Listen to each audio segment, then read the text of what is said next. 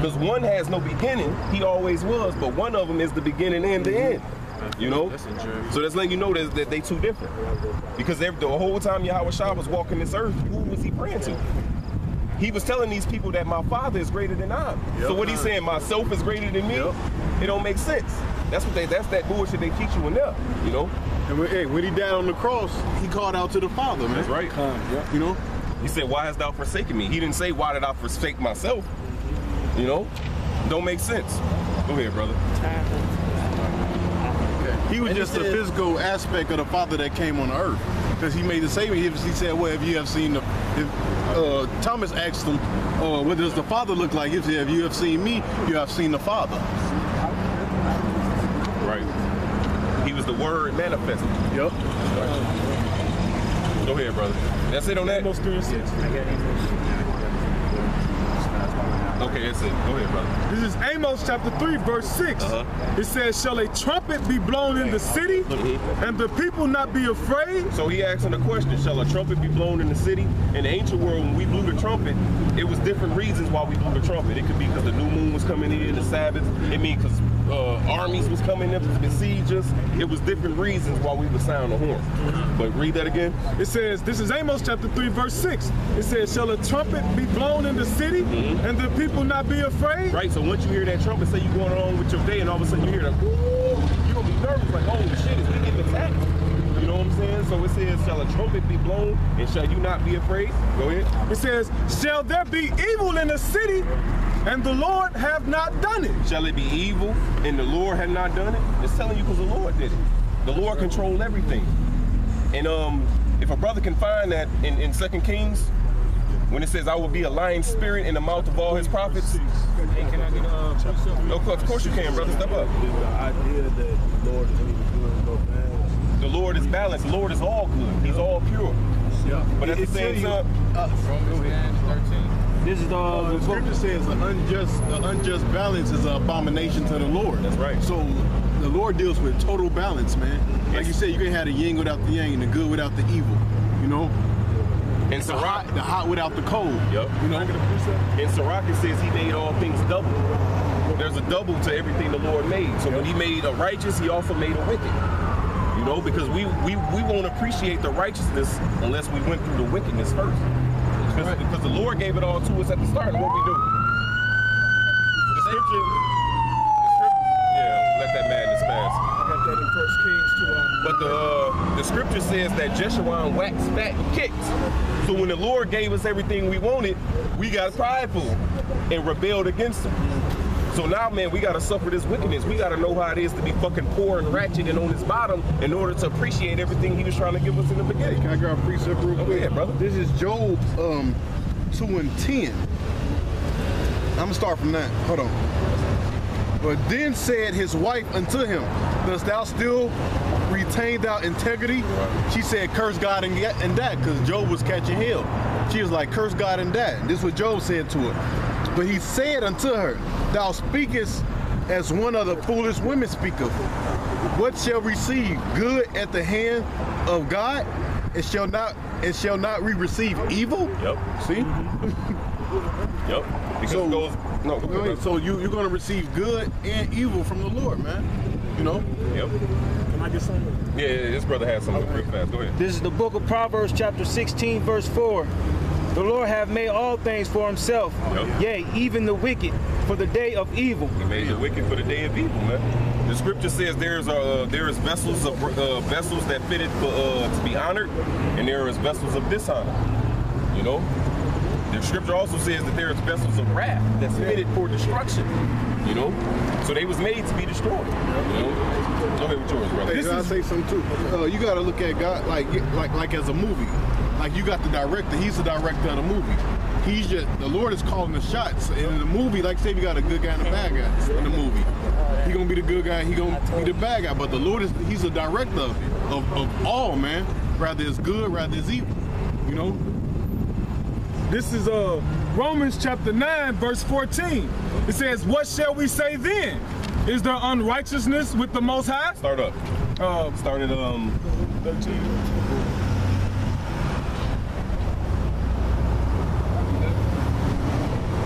started nine. All right. This is Romans chapter 9, verse 9. We talking about uh, Jacob and Esau. How Jacob is the uh, uh, the righteous, how Esau is the wicked. So we gonna explain it. Okay. For this is the word of promise. Mhm.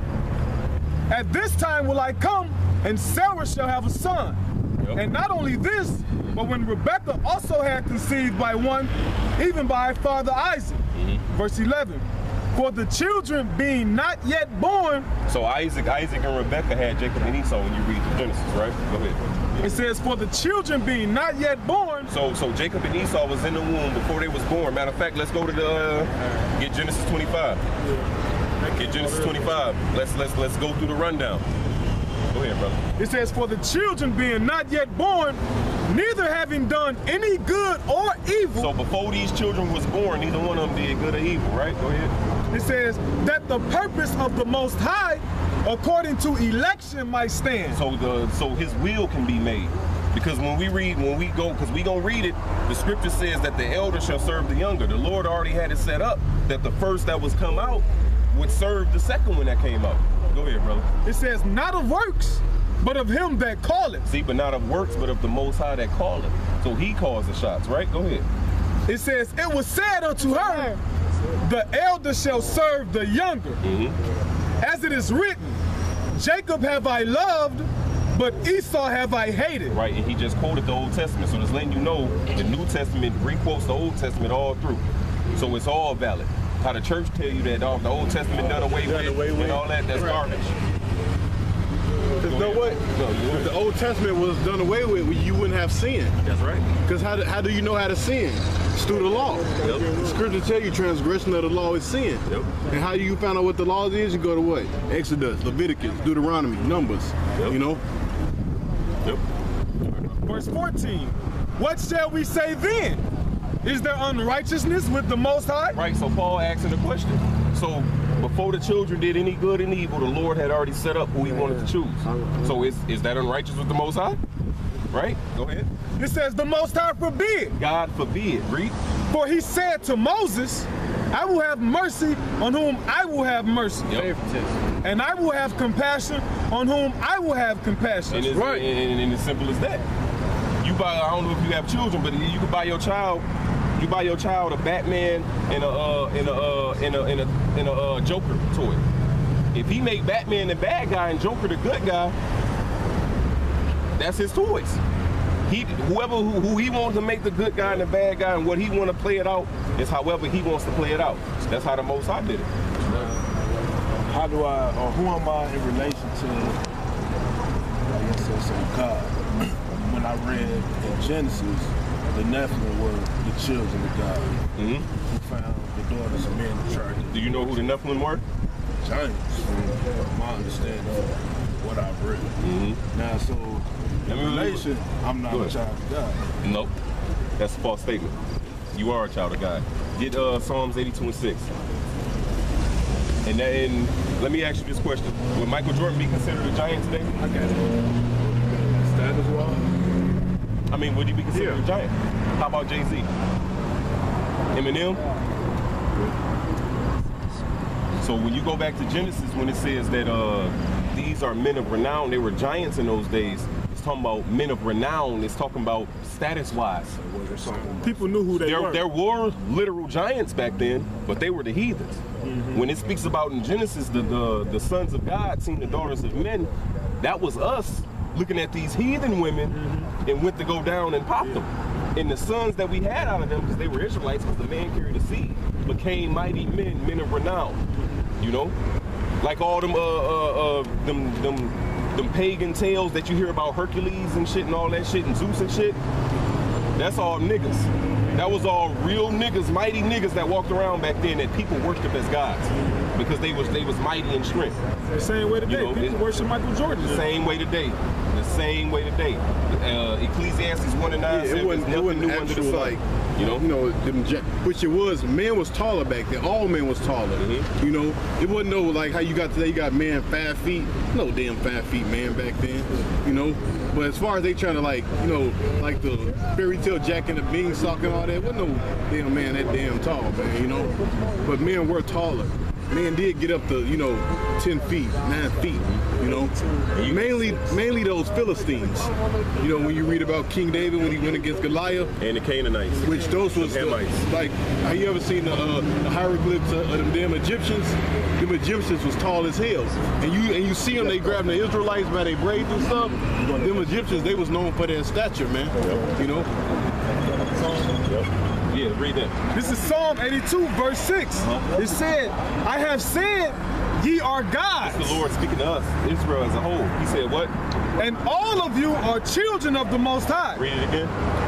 This is Psalm 82, verse 6. I have said, ye are gods, So the Lord said that we gods. Go ahead. and all of you are children of the Most High. And we're all children of the Most High because when we go back to this Genesis, we're going to read the scripture says, Two nations shall be separated from thy womb, and one people shall be stronger than the other. Who dominates everything? Who dominates basketball and football, baseball, soccer, boxing, UFC? Because we're a better people. So it says we are gods because it, it, it- the Lord instilled in us something special. Somebody get Deuteronomy 7 and 6. It says, uh, this is Psalm 82, verse 7. But ye shall die like men. But you shall do what?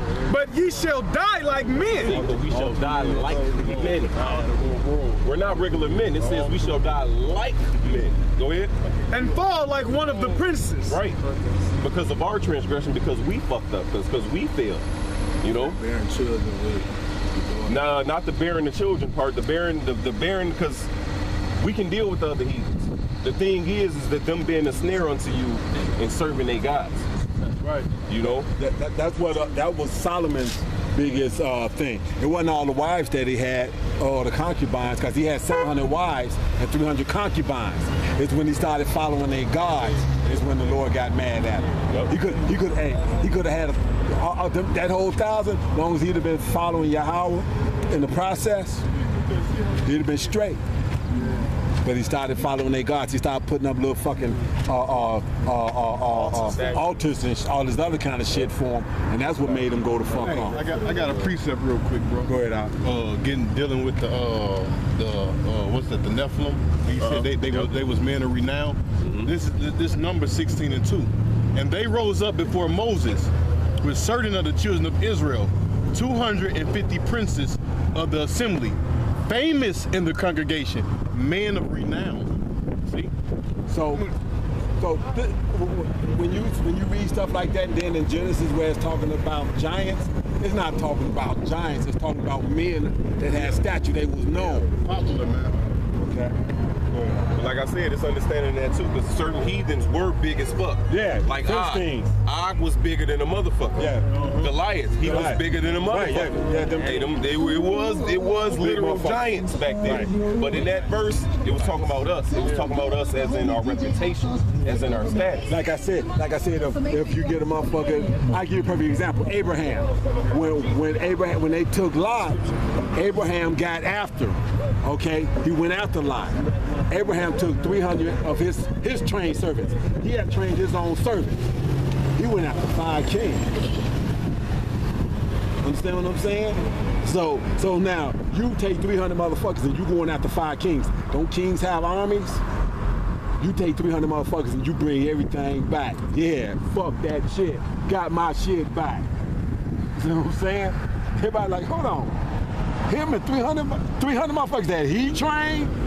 Men of renown. Oh shit. Don't fuck with him. Somebody get Jude, get Jude the sixth verse. Baba Kushan.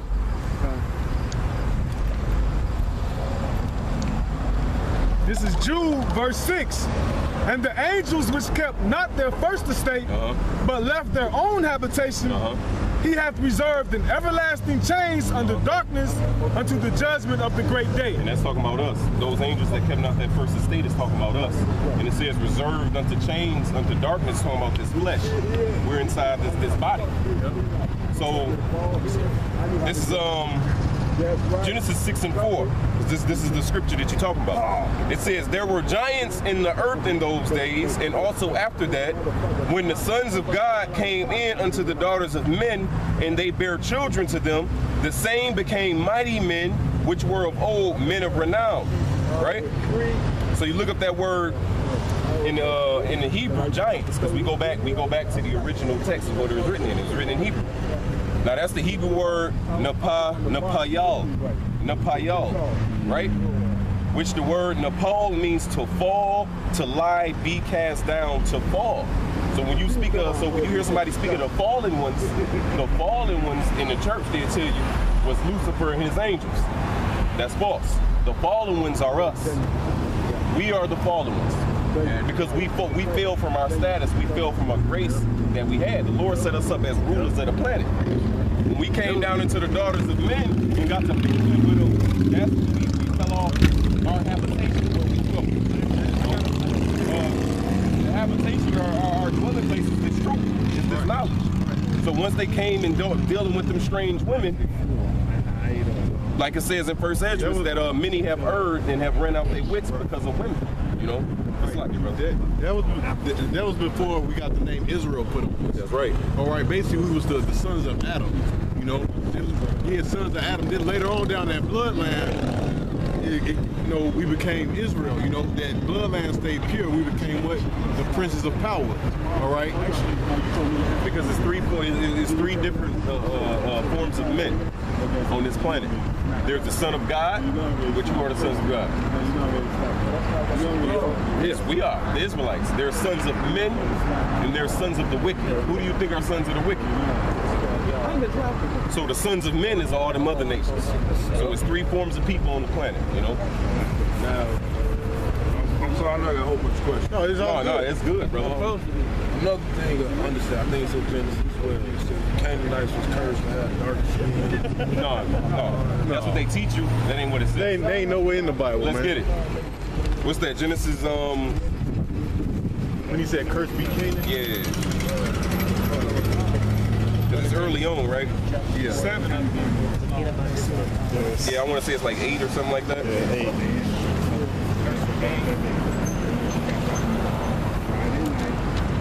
Nine. Yep, it's nine. It's He, nine. he told y'all Get um, start at Genesis nine and 25, 22. 22. This is Genesis chapter 9, Start verse, at 19. chapter 9, verse 19. Mm-hmm. These are the three sons of Noah, and of them was the whole earth overspread. Mm-hmm. So everybody on this planet right now comes out of one of these three sons: Shem, Ham, or Japheth. Right? Go ahead. And Noah began to be an husbandman, and he planted a vineyard. And he drank of the wine and was drunken, and he was uncovered within his tent. And Ham, the father of Canaan, saw the nakedness of his father and told his two brethren without. And Shem and Japheth took a garment and laid it upon both their shoulders and went backward and covered the nakedness of their father, and their faces were backward, and they saw not their father's nakedness. And Noah awoke from his wine and knew what his younger son had done unto him. And he said, Cursed be Canaan, a servant of servants shall he be unto his brethren. That's it. No, I was waiting for that to pass. He says, and he said, Blessed be Yahweh the power of Shem, and Canaan shall be his servant. The Most High shall enlarge Japheth, and he shall dwell in the tents of Shem, and Canaan shall be his servant. And Noah lived after the flood 350 years, and all the days of Noah were 950 All right, years, All right, that's and he cool. died. But they, go ahead, brother. This is basically uh the Canaanites right here, Hamites. You know, this is this is their people, and this is our people. You can see the difference.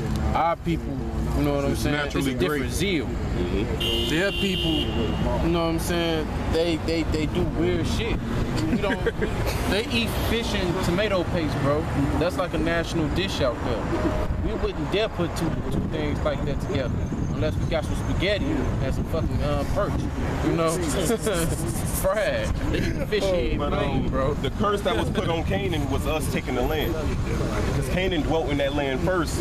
Then once we came out of Egypt, the Lord told us to do what? Go slaughter their ass and to take that land. And they became a servant.